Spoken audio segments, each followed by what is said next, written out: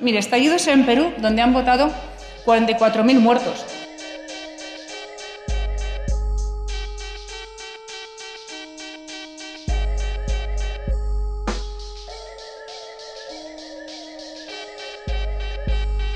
Que el concebido no nacido sea considerado como un miembro más de la unidad familiar.